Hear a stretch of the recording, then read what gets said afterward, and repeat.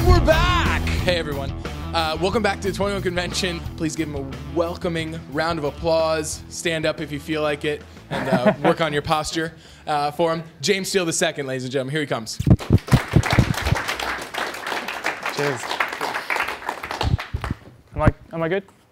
Cool. Okay, guys. Um, the first talk I'm going to do for you today, I'm going to do a talk tomorrow as well, going into a bit of specifics around my research and my kind of area of expertise. But one thing that Anthony's asked me to talk about is specifically philosophy, and more specifically Ayn Rand's philosophy, which is objectivism. Um, I'm a big proponent of Ayn Rand's philosophies. I first got introduced to Atlas Shrugged through reading kind of Mike Mentzer's work. So I don't know if any of you are familiar with Mike Mentzer, heavy duty, high intensity training. Coming from an exercise physiology background, I first got involved with that after getting involved with Arthur Jones, moving through all that, yada, yada, yada. And um, realized that he applied a very sort of philosophical approach to his pursuit of knowledge in that specific area.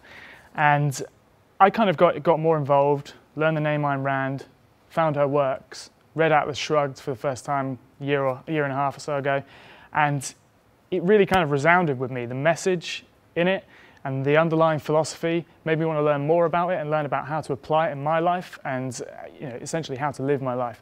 So what I'm going to do today is kind of go through, if you can see the slides, hopefully. If not, then you just have to rely on me speaking and hopefully, hopefully it will go, go through fine. Um, I, I, ended up writing a bit of an essay for my notes because I didn't want to leave any kind of like stone unturned. I felt that there was so much depth that needs to kind of be go, gone into with the specifics of the philosophy and learning how the fundamentals all affect each other that I needed quite a lot of detail in it. So I apologize if it looks like I'm kind of relying on my notes a lot. I was kind of hoping for a, a podium or something to kind of maybe you know speak from, but I'm going to have to kind of re- rely on uh, just just holding it here now. So so excuse, excuse that anyway. James, you're welcome to move the thing you have there if you want. Yeah, would that work? Cool.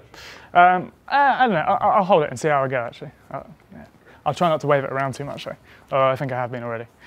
Um, okay, so like I said, I'm a PhD student. My specific area is exercise physiology, lower back pain, and how the two are related.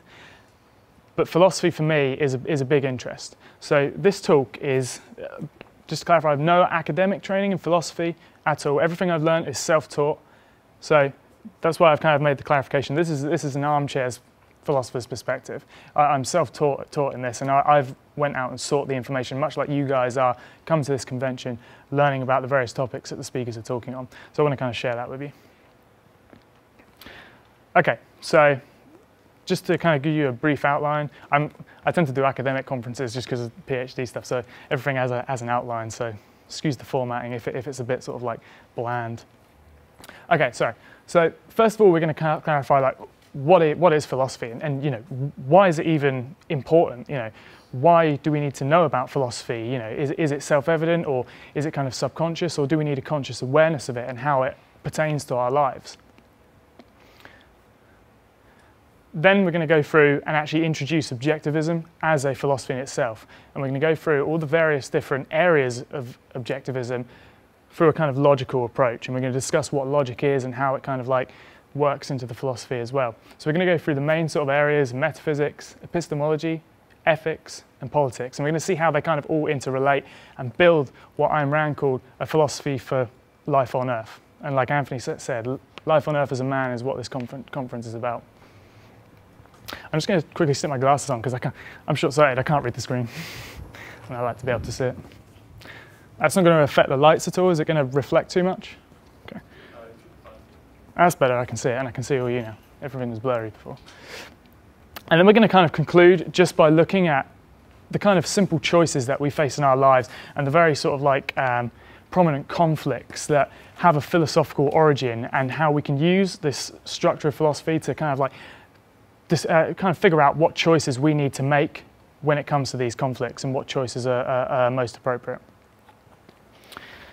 Okay, so first of all, what is philosophy and, and, why is it important?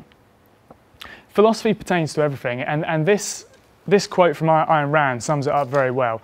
Philosophy studies the fundamental nature of existence and of man and of, of man and of man's relationship to existence.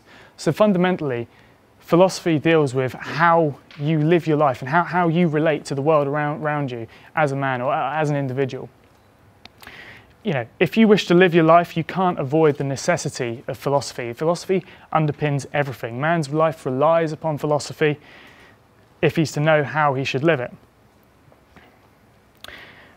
You know, everything you do, every action you take, assumes some underlying principles by which you take those actions, some fundamental principles. And that's what philosophy predominantly deals with. It deals with fundamentals. The basic, irreducible primary concepts that kind of dictate how we live our lives. Like I said, the choices we make, what we do, how we think, how we act, how we live you know, some examples could, could pertain to you guys coming to this conference here. You want to learn something. You want to learn something about the nature of reality. You want to learn something about particular subjects, particular topics. You want to know how to apply it. You know, it could be anything, success with women, starting a successful business, entrepreneurship, exercise, nutrition. What philosophy deals with is what that subject is, how it relates to you, and how you actually find out that information and know what's true and what actually works, you know, how, how reality works essentially, it, it's how to live. Yeah, briefly then, uh, what Ayn Rand is um, predominantly an author, and she had this vision of, like Anthony said, uh, of man as a hero, man as an individual, man living his life as he deems by his own standards and for his own pursuit of happiness. And she wrote several novels, including Atlas Shrugged, which is my personal favourite. And uh, I was so, you know, I've got such a conviction about the philosophy that I, I went as far as having the, the tattoo of Atlas on, on my arm. Um, Fountainhead, which I know is Anthony's personal favourite. Um, there's actually a film about it. I haven't seen it, but it's supposed to be really good um, and, and other, other various novels which she wrote before then delving into, well, people saw, read her novels, and they were aware that, that the heroes she kind of had in her novels, that, you know, the businessmen, the successful people, were different to what predominant sort of like doctrine and, and, dogma and conventional wisdom, whatever that is, that we all kind of like try and combat by coming to this thing. Um, she kind of like showed this kind of like completely, para, uh, completely um, independent hero and people wanted to know, well, you know, what, what, under, what philosophy, you know, can you explain it in more detail? What philosophy underlies your stories and what philosophy underlies your heroes? What philosophy underlies man in your vision? Um, so that, that's what Ayn Rand did, and, and she built upon that um, by writing more philosophical texts to, to explain her philosophy. And that's what I'm going to try and do justice to, to today. So there'll be a few quotes by Ayn Rand, um, uh, some of them from her novels and some of them from her, her philosophical works. Okay, so like I was saying, philosophy underpins life essentially. Now, for most of you, you know, you may not have a you know, real deep interest in understanding particular philosophical constructs and philosophical frameworks. You know, you may not have an interest in going out of your way yourself to kind of like search the literature, read the books and that sort of thing. But regardless of whether you want to go out of your way and learn it, you've got to appreciate that it, it, underpins everything you do. Every action you take, every action that anyone else takes, your perspective on reality is dictated by your philosophical principles, whether you're consciously aware of them or not. This quote by um, the economist John Maynard Keynes, I think, despite his touchy uh, economic theories, um, I think it quite, quite well sums up that kind of situation. He says, and I quote, the ideas of economists and political philosophers, both when they are right and when they are wrong, are more powerful than is commonly understood. Indeed, the world is ruled by little else. Practical men who believe themselves to be quite exempt from any intellectual influence are usually the slaves of some defunct economist. An economist there is, is synonymous with, with philosopher. Economy is dictated by philosophical principles, much like everything else. Ayn Rand had her own quote as well, which she used Who sets the tone of a culture? A small handful of men, the philosophers. Others follow their lead either by conviction or by default. So, where, where I present the philosophical framework today, I want you guys to understand it and either accept or reject it based on your own convictions. Uh, hopefully, I'll do a good enough job to persuade you all. So, introducing objectivism. Most people who kind of have any sort of like perception of philosophy uh, have a very sort of like superficial one. They don't really go into the details of it. They know the conflicts that are that exist in this kind of world, but they don't really kind of like reduce it down to what the base principles are and how that affects things. They see these various conceptual conflicts and never really work it out. Now, Dr. Onkar Ghate, I don't know if any of you have heard of him, but that's irrelevant. But he's a, a fellow at the Ayn Rand Institute, which is an educational establishment for helping um, portray Ayn Rand's philosophical ideas. Um, he did, a, did a, a, lecture similar to what I'm doing now on introducing objectivism, and he used a kind of format where he uh, reduced the latter conflicts that we see in today's world, which we'll discuss in, in more detail as we go through, back to their irreducible fundamentals, the kind of primaries, the fundamentals that the philosophy deals with. Now, in the structure of his lecture, there was a kind of contextual um, series of lectures that discussed these topics in, in detail beforehand, so it was very easy to kind of do that. But what I wanted to do was show you that there's actually a logical process by which we can start at the beginning and move towards the end and figure out how to, how to make the choices that come up in these later conflicts. So, I use the example. In 1962, at the Shrugged Sales Conference, Ayn Rand was asked to stand on one foot and give the basics of her philosophy. And so she did as follows. She said, metaphysics is objective reality. Epistemology, reason. Ethics, self-interest, or rational self-interest to be more appropriate. And politics is capitalism, or individualism.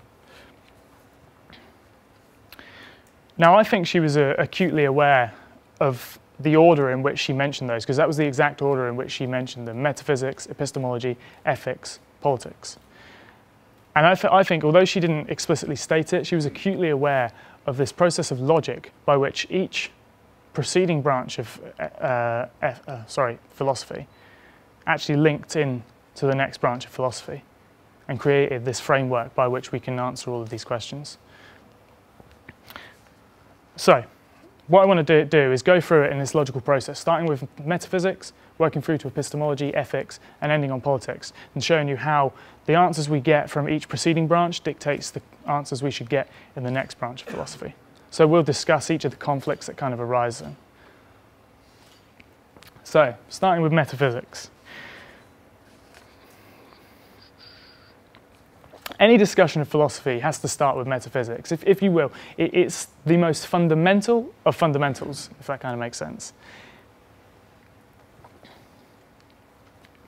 Metaphysics deals with the fundamental nature of reality, you know, the universe as a whole, as it, as it exists, as we perceive it, basically reality, you know, it's, it's no simpler way to, dictate, to express it than that.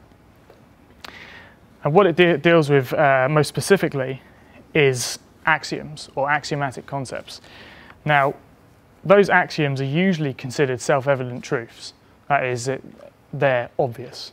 We don't need any clarification from them. But the problem with that is it kind of dictates or, or, presumes that there's some sort of omniscience or omnipotence that gives us knowledge without our perception of it, without our actual creation of it. The thing is, axioms are graphs conceptually, as is all of our knowledge, which we'll discuss at some point. You can perceive reality, but to understand it, you have to conceptualize it.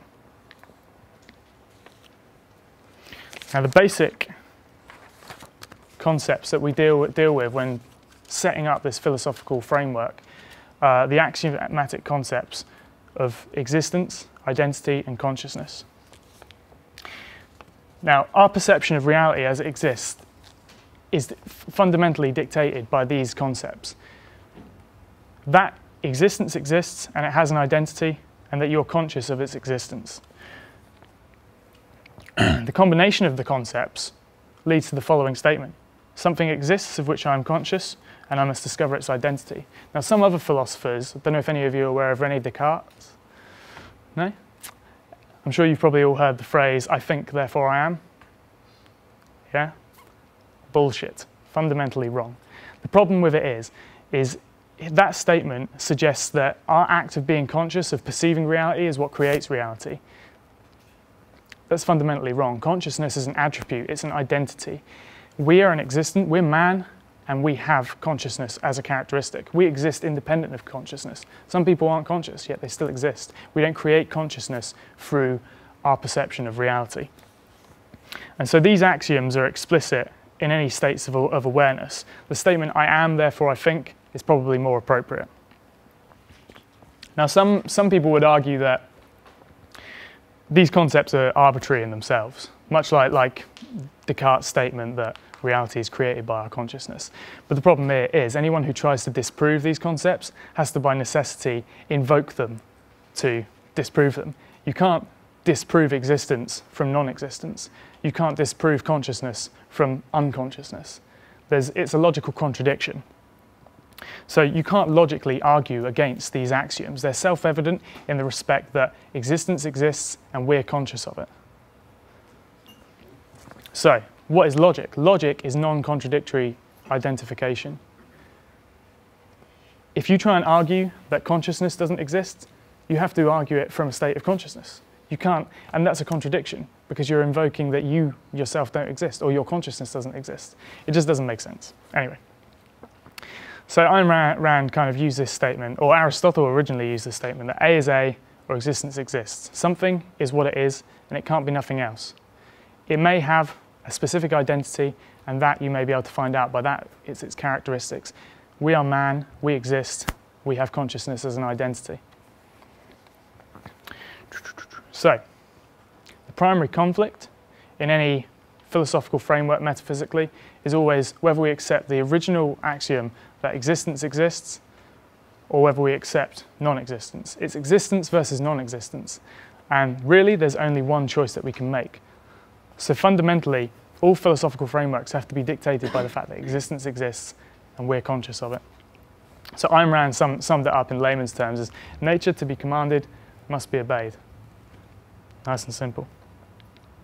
It doesn't matter what your wishes, whims, feelings are, existence exists independent of those. You can't wish that something's going to fall from the sky or wish that you're going to be, be successful. You have to adhere to the principles of reality. You have to do things that you know and you can learn are going to make a difference and you know that are going to exert an effect based upon the fundamental nature of reality and your relationship to it. Just a quote from Atlas Shrugged, then, my favourite book. Existence exists, and the act of grasping that statement implies two corollary axioms that something exists which one perceives, and that one exists possessing consciousness, consciousness being the faculty of perceiving that which exists. And I think that sums it up very well. Well, I've hopefully summed up quite well anyway. We'll see. Right, moving on from metaphysics then, and that fundamental conflict of existence versus non existence, we can move on to epistemology. First of all, what is epistemology? Epistemology is quite literally the study of knowledge, and it asks various questions, such as what is knowledge? What you know, not what you believe or what you wish, but what you actually know, what you know is true. How we acquire knowledge, you know, what process do we utilize that actually results in us knowing something, knowing that something is true, knowing that something is correct, knowing a fact of reality. And how do we know what we know?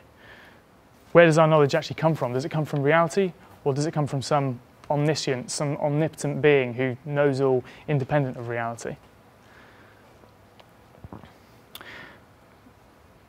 To know something is true is to be certain in the context of existing information that something is true. One thing to accept, first of all, is even though we can accept that existence exists, the fact that our perception of it is correct is by no means a given. We, we're infallible, unfortunately. You know, we could perceive things incorrectly. So it's interesting, to, it's important to understand that the knowledge we have is based in concepts, but those concepts could be based on flawed perceptions.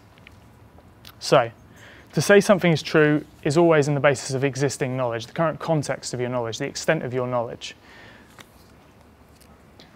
And also to say something that is, is knowledge implies that you can prove it, that you've got evidence in reality of that existing. Okay, so like I said, knowledge is conceptual and its validity depends on concepts. So, what is our knowledge based on then? Initially, all, all knowledge is based on percep our perceptual level of awareness, our consciousness, our awareness of reality. We perceive reality through our consciousness and we get information from reality about the nature of something existing and, and of its identity, of its characteristics. So, how do we perceive reality? We use two forms of uh, forms. We have our senses, which is our cognition, and we have measurements as well. Now, measurements are important because at a perceptual level, we can only perceive so much. You know, you can see the pillars, walls, you can see everyone next to you. But we know from measurement and from the application of science that things exist on a smaller level than we can actually directly perceive. And things exist on a larger scale than we can directly bear witness to and perceive as well. But we can still know about them because we can apply a process of mathematics and science and use a process of measurement to understand our relationship to the very small and very big as well. So, to assume that all knowledge is based on our senses is incorrect. It's based upon cognition, our senses, and measurement, our application of a method of mathematics and science to it. The next stage of knowledge is always how we form concepts. So we perceive reality as existence. We perceive individuals, we perceive individual parts of reality.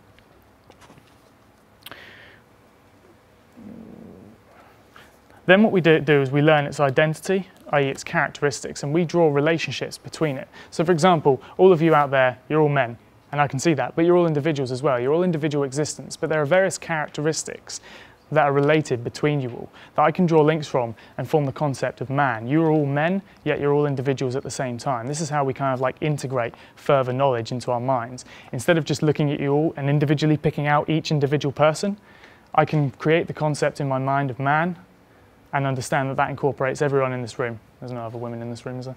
No. So that's kind of how we can build upon our knowledge, and it's how our knowledge works. Existent, learning its identity, forming it into a unit, and extrapolating from that into a concept. And we create our concepts via those means. Now, if anyone wants to learn more about epistemology, I understand it's not exactly the most exciting concept, uh, uh, or subject rather, then I would recommend reading Ayn Rand's book, An Introduction to Objectivist Epistemology. This is a basic kind of glazing over it, but it highlights the main point that our knowledge is based in reality. Our knowledge is based on what exists rather than what doesn't exist or what we want to exist or what we wish exists. So the primary conflict in epistemology always comes down to reason and faith. And another quote to kind of highlight that. Reason integrates man's perceptions by means of forming abstractions or conceptions, thus raising man's knowledge from perceptual level, which he shares with other animals, to the conceptual level, which he alone can reach. The method which reason employs in this process is called logic, and logic is the art of non-contradictory identification. So like we said, it's about the ability to perceive reality and draw relationships between objects and not to contradict yourself in the process. Faith is not based in reality, unfortunately. Faith can never claim to hold knowledge. I don't want to piss anyone off who holds faith as some sort of value, but this is my, my perception. And if you. Well, I didn't mean to interrupt you, but um, the logic, surely that is a faith in itself. Logic? Yeah, you were saying that faith is bullshit. Surely you're having faith in that logic, so that would be. The pro problem is, is coming back to what we base epistemology on, what we base how we gain no knowledge on. So we go back to the original metaphysics of existence versus non-existence. To state that faith is faith is is knowledge independent of, of existence. So that implies that the initial choice that we've made metaphysically is that existence doesn't exist that existence is, is uh, uh, in constant flux, that we can't know anything about it, or that we can know independent of our relationship to existence. We can just know without seeing, without perceiving, without measuring. We can just have knowledge like that without any means of actually obtaining it. It just comes to us. So, like I said, said though, that initial conflict, to disagree with it or to try and disprove it, is to contradict in itself. You can't prove that existence doesn't exist from a position of non existence, or that consciousness doesn't exist from a position of unconsciousness. It's like the, the inherent ability, and, and from a quote from Anthony's blog, or paraphrasing it, you know, it's like trying to argue against the inherent ability to argue. It, it's a contradiction in itself. And that's what it com comes down to. There's no really two ways about it. If you try and prove otherwise, then the burden of proof is on, on you. But you can't do so unless you've got, unless you choose that platform from which to prove it from. Okay, Cool.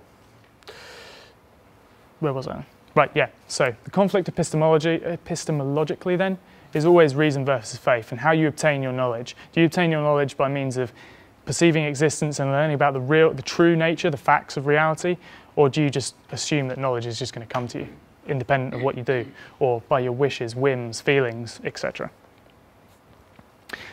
Now, moving on then to potentially some touchy subjects, but we'll, we'll see. Um,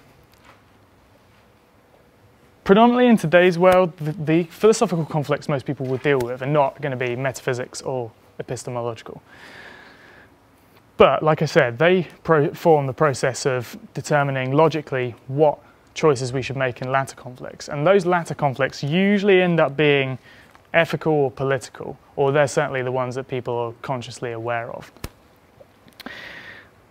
So, we'll discuss ethics then, and we'll kind of move on to the conflicts that predominantly perfuse today's society.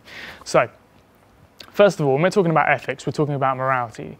And we first need to uh, identify what morality is and also what ethics is, because the two are intertwined.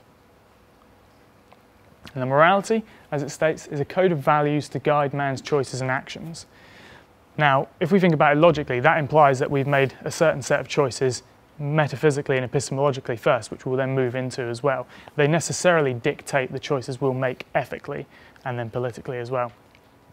And ethics is essentially the process of learning what those value, values are and trying to set that code of values, what our morality is, and what we hold as valuable to our own lives.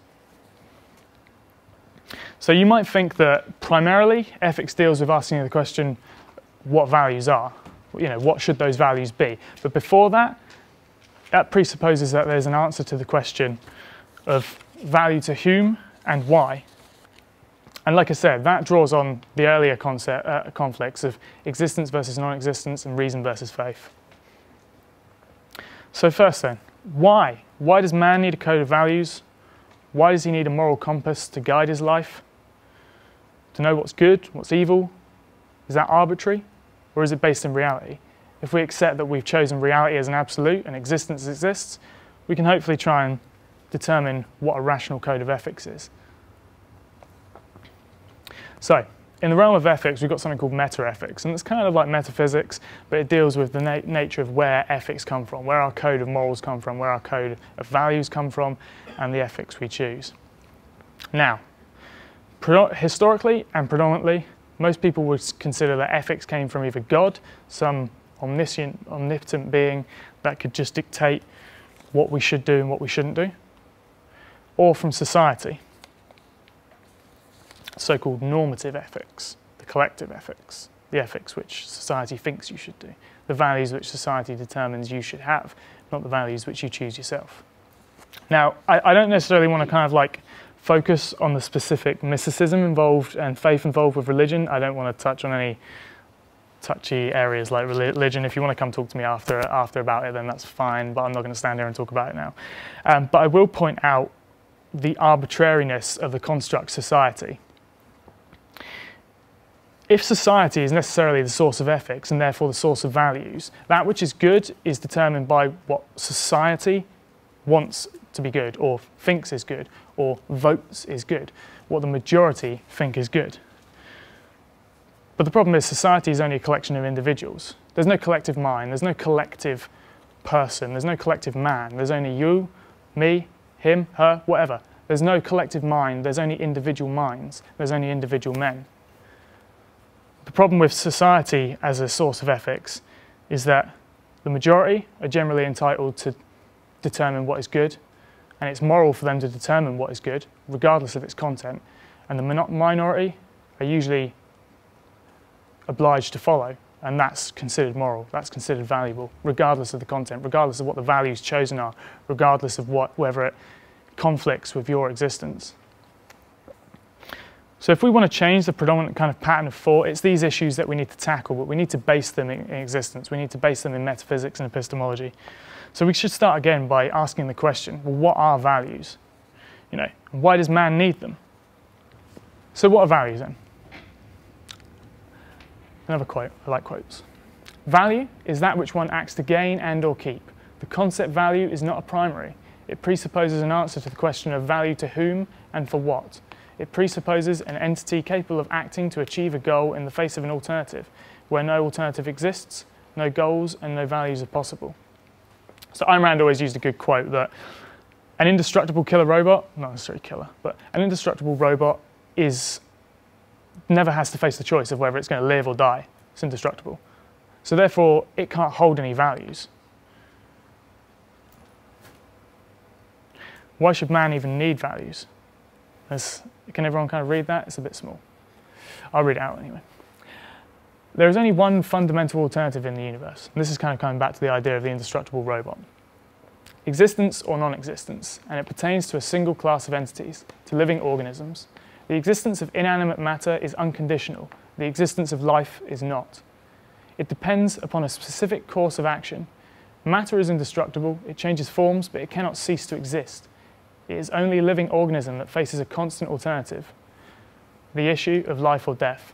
Life is a process of self sustaining and self generating action. If, organ- if an organism fails in that action, it dies. Its chemical elements remain, but its life goes out of existence. It is only the concept of life that makes the concept of value possible. It is only to a living entity that things can be good or evil. The indestructible robot can't die, you guys can. And the, that's the reason why man needs values, because man's values only come from the fact that you're alive. That is your highest value. It's the source of all your values, your life, man's life. Man's life is the ultimate standard of value. It's, this, it's the goalpost or the, the, the measuring post by which you judge all other values because it makes all others possible. Man's life or man is an end in itself, in himself. Now, if we kind of think epistemologic, epistemologically about ethics, then we can consider how we come to those concepts. Initially, knowledge always starts perceptually, and for man, that might be pleasure or pain, suffering or happiness. So, perceptually, whatever actions we take may either be happy, may create happiness, sadness, whatever. We know whether something's good or evil, or we perceive whether something's good or evil, predominantly through our senses by those means. But as we've seen, that's never an automatic process. It has to be based in reality we can't just accept that our perceptions are necessarily correct either. Like we said, we need to use a method of reason, a method of measurement, and we need to know, know whether or not they're right. So, if man's life is the highest value he can hold, then he has to figure out a way of maintaining that life. He has to answer questions such as how do I get food? How do I get shelter? How do I survive? On, on, the most basic level, I know that doesn't necessarily apply in today's society. Some of those things are kind of, they just kind of are there, but you still have to act upon them. So the principles are the same. Now, the problem is, does he choose reason or faith to try and achieve those goals? Does he choose to accept that existence exists and he can learn about it and learn how to manipulate it and learn how to act upon it to get the goals, he, to achieve the goals he wants and to achieve the sustainment of his life and therefore of all his other values? Or does he choose faith? Does he just hope that things will happen somehow? Now, I've got a quote which is kind of usually used as a bit of a dig at religion, but it kind of appropriately highlights this, I think. So, forget the word religion, just put mysticism or faith or whatever you want to put in there. Now, I'm going to read this out to you because I kind of read along a little bit. The man who gets, a, gets given a fish never learns where that fish comes from, how he can obtain it. He never gains any knowledge past the extent of, a man gave me a fish. And so we'll be left with the answer, with the answer to the question of where or how do I get more fish as somewhere, somehow. This man is living his life through the means of another, waiting for more fish. He will die when no one attempts to give him more fish. The man who accepts mysticism, mysticism, religion's mystic, but I don't, uh, too touchy. The man who accepts mysticism does not attempt to, does attempt to gain more fish, sorry, but he chooses to ignore the facts of reality and instead presumes to ask something or someone whom he can never know exists to provide him with fish He will die when the consequences of reality catch up with him, and he finds that fish don't rain from the sky or appear in his hands because he wants it to, or wishes it to, or prays to someone to give it to him, prays to God or society or whatever. The man who learns to fish, however, whether he's taught or he seeks that knowledge himself, it's irrelevant. He gains knowledge. He learns about the fundamental nature of reality. He learns where to catch fish, he learns where to uh, how to catch fish and where to catch them. He learns that by using his knowledge and applying the facts of reality, he can provide himself with food and, importantly, actively be productive in sustaining his life and therefore sustaining all the values that stem from his life. So, if life is a standard and if knowledge is power, and if reason is man's only means of, of obtaining knowledge and therefore of survival, that which is proper to a rational, reasonable human being is what's good, and that which goes against that is what's evil, fundamentally. The man has, to, has a choice. He has to choose whether to use reason or faith, or whether to accept existence or non existence as his fundamentals. The problem is, some men don't choose to do that, and it's pretty prevalent in society nowadays. Now, Ayn Rand had a good sort of two words she used to de- uh, denote these men. She called them the moochers and the looters. The survival of the moochers and looters is dependent on reason, but only indirectly. They use force or act as parasites to steal the knowledge of other men, to force other men to think for them, to provide for them, to sustain their lives. They never live through their own lives, they always live through the means of other men. So even their survival is indirectly necessitated by reason. They try and live independently of it, but they can't. It's impossible. You can't deny existence and then try and live in reality. The problem is, though, they try and live on a whim. They try and live on this faith based reality that somehow, somewhere, someone will provide for them, someone will sustain their life. The problem is, the range of their survival is always dictated by the range of their victims. The more and more they suck, the more and more they steal, the more and more they take from other people without any value in return, eventually those victims die. And as soon as reason stops, they die too. They always live on the range of a moment. They never project. They never view their own goals and view the means of how to obtain them in reality themselves by gaining knowledge about it and learning how to achieve those goals. I was going to use a kind of quote for, or paraphrase what Matt Hussey said in that video you put on the, yeah. on the convention. The moochers and looters, they're the destroyers. The men of reason, you guys, hopefully, you're the creators. You create your own lives. You create the means of sustaining your own lives. Fuck yeah. The destroyers choose death. You guys choose life. The men of reason choose life and how to sustain it. They choose life and they choose its corresponding values, the values which make life possible and which stem from life. Reason, purpose, and self esteem. If man desires to live, he has to be purposely productive. He has to purposely sustain his own life, achieve his own goals. So, productiveness is his central purpose. His purpose is to sustain his own life. Reason is the means of doing that, learning about the nature of reality and how to manipulate, how to dictate it, how to apply it, and how to achieve your goals. And pride's the result. Feeling good about yourself, feeling good that you achieved your goals, feeling good that you lived your own life, feeling good that you achieved values that you necessitate as value. Now, these values have corresponding virtues as well. And for reason, rationality is the virtue of reason. It's the recognition that reason is man's only source of knowledge, and it's the application of that consistently. Purpose. Productiveness is the recognition that productive work is the process by which man sustains his life, whether great or modest. It is any rational pursuit, any pursuit that is dependent upon your knowledge of existence, your reason. And self esteem, pride. Pride is the recognition that man's life is worth sustaining, it's moral ambition. Never accepting irrational values, never practicing irrational virtues, never failing to hold rational values and practicing their virtues, never accepting unearned guilt if one does earn, and if one does earn it, never leaving it uncorrected, never resigning passively to one's flaws of character, never placing any concern over one's own self esteem, one's own life, and most importantly, never accepting the role of a slave or sacrificial animal, like the moochers and looters would want you to. Live for your own life, don't live for theirs. Psychologically, though, we don't tend to face those problems. We don't face life and death all the time unless you're like Anthony and you walk in front of cars. Instead, man faces the problem of happiness or suffering. And I always like this quote Achieving life is not the equivalent of avoiding death. See, the moochers, they achieve life, or sorry, they, they avoid death rather, to a degree, until their victims die, until the men of reason decide to run away, go on strike. John Galt. But let me kind of clarify that. Man's happiness is his own proper, is the proper state of his existence.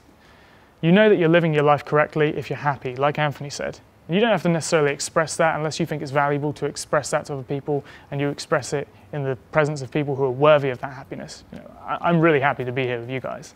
Like, I'm really happy to be here presenting at the convention, but I may not necessarily be jumping around doing dances and backflips and smiling and whatnot.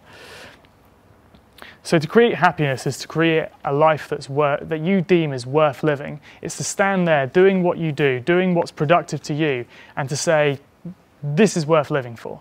This is why I'm living. This is what I enjoy. This is what makes me happy. This is what sustains my life. This is valuable to me. And this is what is worth living for.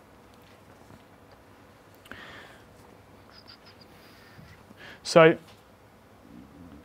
when, man's consider, when you consider the fact that logically, existence exists, reason is our means of perceiving it, and happiness is man's proper goal in life, we have to consider that the, the only sort of rational code of morality is our own long term rational self interest.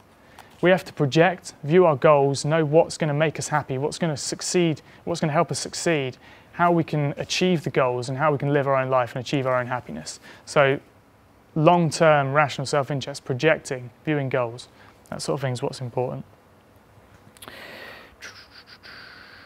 Uh, ah, and I was going to make a clarification. So, one of the things um, that some philosophers use as a counter argument to this idea of self interest or selfishness, because it's got such a dogma associated with the word, is some people view hedonism as being selfish. Hedonism is, is living for the purpose of pleasure, living for the purpose of, of happiness, but only on the range of a moment.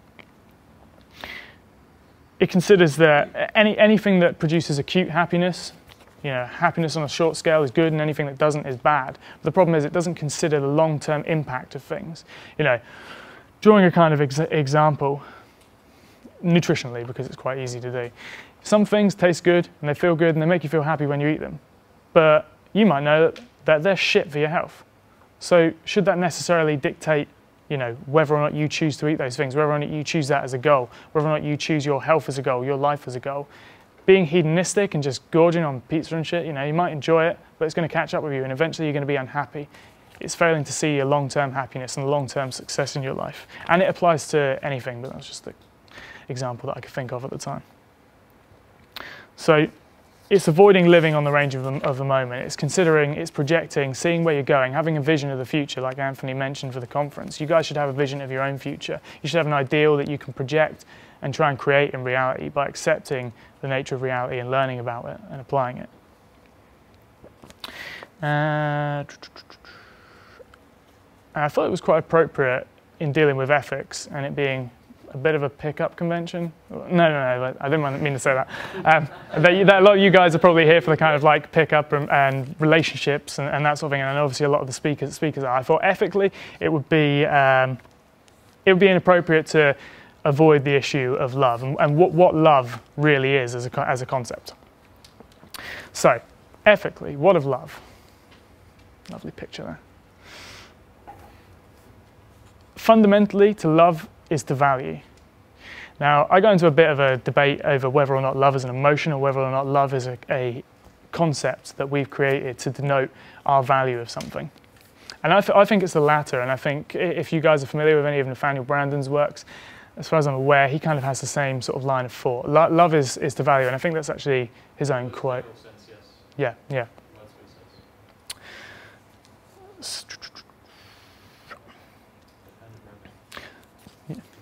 So, I, only a man with an unyielding, uncompromised standard of value can even begin to consider love. If, lo- if the love is the value, you have to have that measuring post by which you deem what is valuable. And if that's your own life, and you've got the self esteem to be able to say that your own life is that standard of value, then you've got the means by which to judge whether or not something is valuable to yourself and whether or not you truly love it. If a man does not value himself, how can he value anything else? Love is a judgment of value. It's to say in your mind that what you love is valuable to you and your life and your happiness. To love without condition is to not love at all.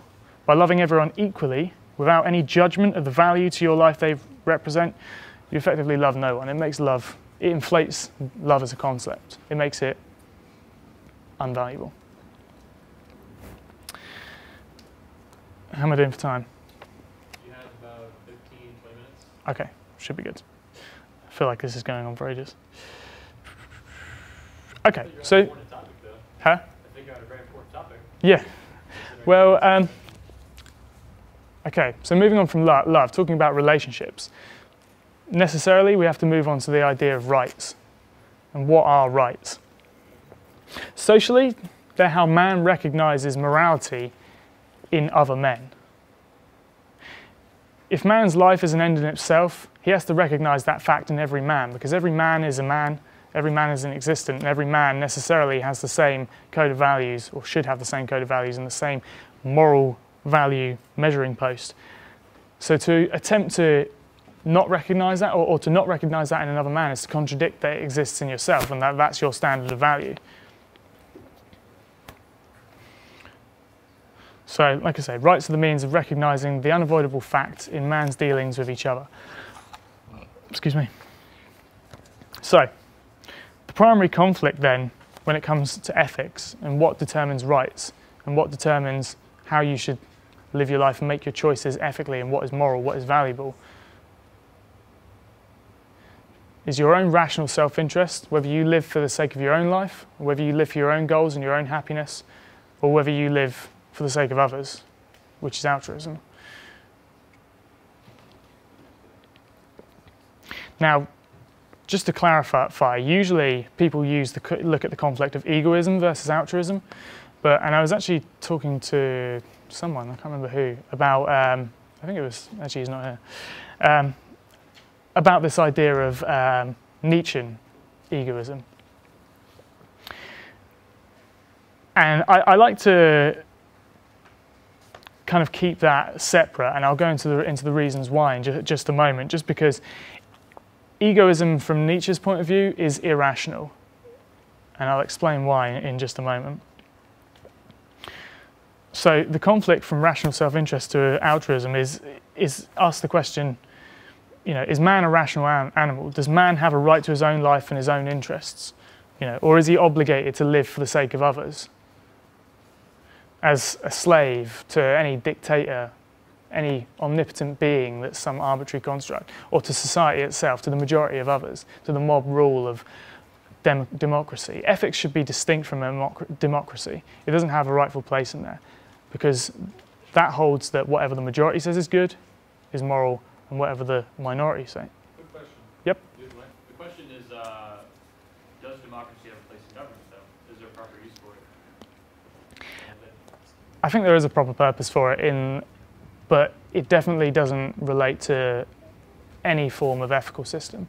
So things So that things that aren't optional. Things So that are useful optional. it's useful. It's the nature useful of for things that reality are and optional. the, and the nature of man's um, code of values, unfortunately, certainly from my perspective and from hopefully the way I've presented it to you guys today, it, it's not a matter of choice. It is, it is a necessity of, of reality.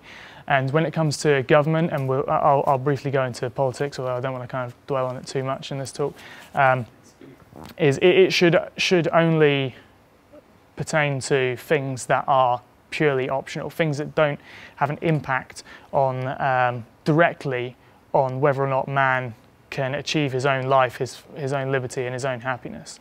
So, and, and in fact, I was going to suggest that any of you guys haven't read it, you should read Anthony's blog post, uh, Liberty Unlocked, Declarationism.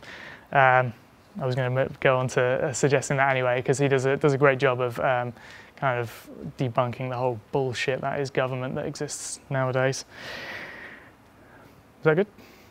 Yeah, yeah. Yeah. I was, I was getting that. So. Yeah? Cool. Okay. Um,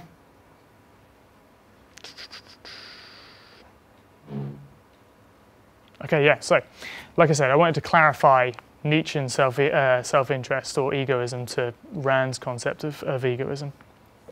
You know, selfishness is quite literally concerned with your own interests, and one of the reasons that Ayn Rand uses that is because she likes to be quite contra- she liked to be quite controversial, and she liked the fact that it did stir the stigma that was attached to it did stir this kind of like um, response in people. But and and you know the proponents of, of altruism, the people who say that you are your brother's keep, keeper, that you, you should live for others, have tried to sort of like demonize the term and created this imagery of a brute who goes around, you know, metaphorically or even not metaphorically, with a club to basically just take what he wants, irrespective of his recognition of anyone else's rights or to their own life and liberty and happiness. And essentially, that's Nietzsche's form of egoism. He's, he suggests that anything that's good for yourself is good just because you deem it good for yourself, regardless of whether or not you can accept that fact in another person. It comes back to this um, idea, idea of rights. Nietzsche recognizes that life is, is your own standard of living, and anything that is good to you is good rather than evil, regardless of the means of getting there. He ignores the means of getting there, and he ignores the means of the fact that it's a contradiction if he fails to recognize the fact that my life is my own, your life is your own, your life is your own. He fails to recognize the fact that that is evident in every man. So I try to avoid using the word egoism just because some people relate that to Nietzsche's concept of it. This idea of a guy going around with a gun or a club and just taking whatever he wants and that being good. Also, I wanted to clarify that some people see benevolence and self interest as independent from each other you know, a lot of the, the altruists and the people who follow those sorts of doctrines and the government officials and, and leaders and stuff who, who tell you these sorts of things kind of try and make it clear that, oh, you know, the, the business leaders and whatnot, they're, they're only out for themselves and, and that's all they do. They, you know, they can't do anything good for each for another person. But, you know, they, they've got no, you know, Apple or whatever or, or Microsoft or whatever, everything they do, they're doing it for themselves. But there's an act of benevolence there as well by making a product available making, you know, providing value to other people as well. So one thing to understand is that self-interest is not independent of benevolence.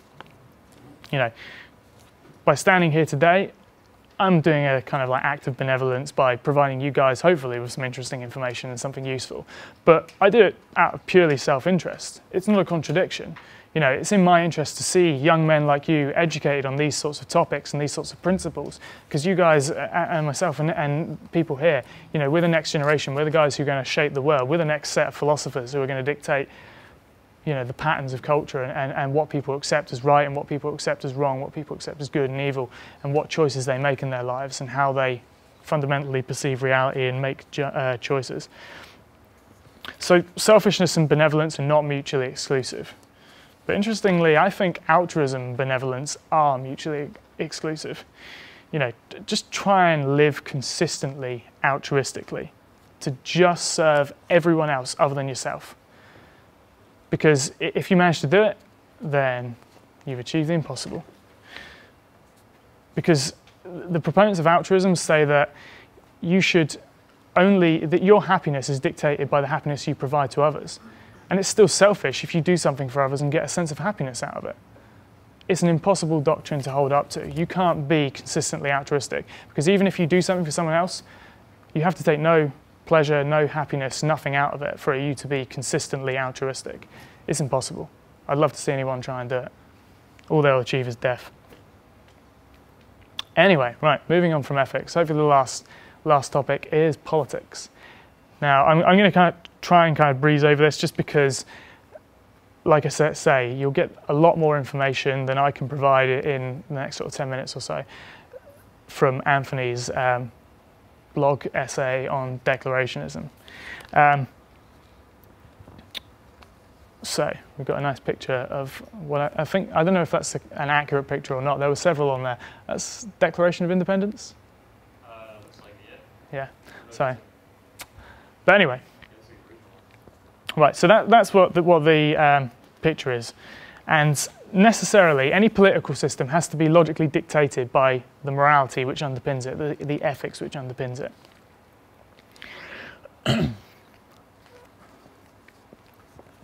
So what Ayn Rand proposed was that the only political system that's consistently ethical was laissez-faire capitalism, that government only existed to secure the rights of man. Now, without going into any kind of like like ec- ec- economical theories, whether it's capitalism versus you know government stimulus or anything like that, you know, I, I personally I couldn't give a shit whether or not one particular economic system or government in, intervention in the e- economy was more beneficial to the economy and more beneficial to everyone than the other. The problem I've got is whether or not it's, it's ethical, whether it's moral or not for government to do anything other than just protect our rights, to hold the monopoly on force and remove force from man's relationships with each other so that we can just deal with each other as traders, as individuals.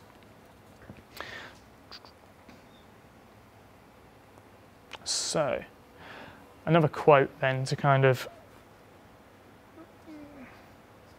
explain that and summarize it.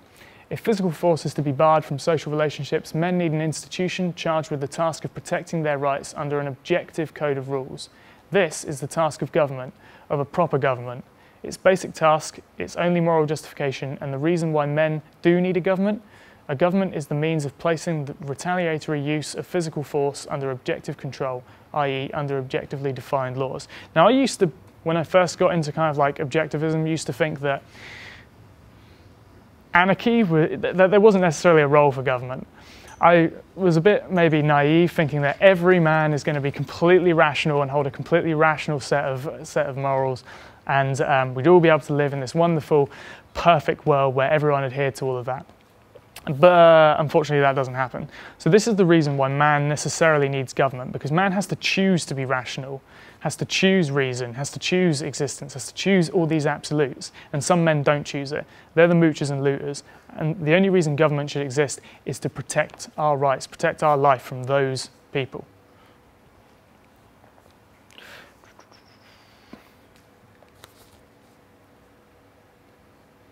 So, the main political conflict then is capitalism or individualism or whatever word you want to use to connotate it versus collectivism or, or socialism or whatever word you want to use again.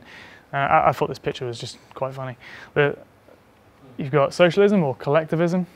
That's basically where you live for your own life and you gain all your goals and you achieve all your values, and then someone comes along and gets government or themselves with a gun to say, actually, no, we need that, so we're going to take it from you. That's a bit odd considering what code of morals we've just dictated. Capitalism, on the other hand, means that you can achieve all your values and they belong to you. And whether or not this represents you as an individual and you can protect you know, your property in your own life, or whether this is metaphorically representing government, protecting you know, the moochers from stealing your values, is irrelevant. But that's basically the general gist of the two conflicts. It's either you get to live for your own life and gain your own values, or you have to do it for someone else, whether by force or you know, fraud or whatever. So, we end on these simple choices then existence versus non existence, reason versus faith, self interest versus altruism, capitalism versus collectivism. And hopefully, I've shown that logically we can answer these latter questions by understanding the basis of these former fundamental conflicts. And I think that's it.